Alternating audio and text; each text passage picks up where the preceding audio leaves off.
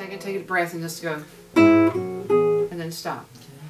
I always say I was born a musician Nice. because Let's just try. I guess I never thought of anything else. I'm Kami Rowan, and I'm Associate Professor of Music, and I'm currently the department chair for the music department, and I've been here 23 years.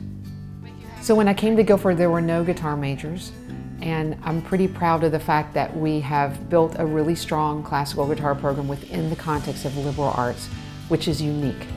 So, um, you know, a lot of guitarists go to conservatories or music schools or large universities, but to have such a high quality program in a, within a liberal arts context is a unique and exciting thing that I feel just lucky to, to have been a part of.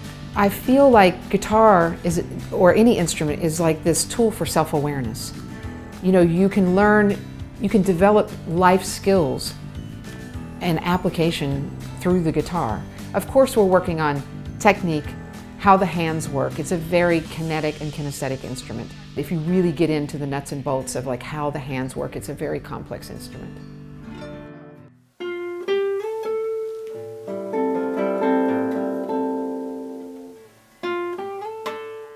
I'm the faculty advisor for WQFS, which is such a cool position.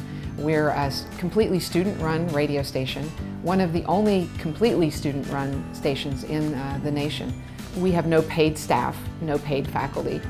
The students make all the decisions. So really for me, it's just supporting the students, being there for them and, and making sure they have what they need to do a great job running the station. I have this interview show every week called, I call it WQFS Faculty Staff Interview and it's staff members and faculty members, and I've probably interviewed 40 or more.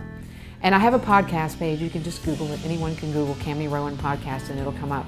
But I've had the privilege of, of interviewing all these folks and, and I record it and, and put it up on podcast and it's just been amazing. It's kind of selfish because I get to know all these great people and but also it's for our community, right? I think that we as a community of staff and faculty are not just who students see us in the classroom, we are people with lives and histories and stories. So I really enjoy that part of my, my work here at Guilford.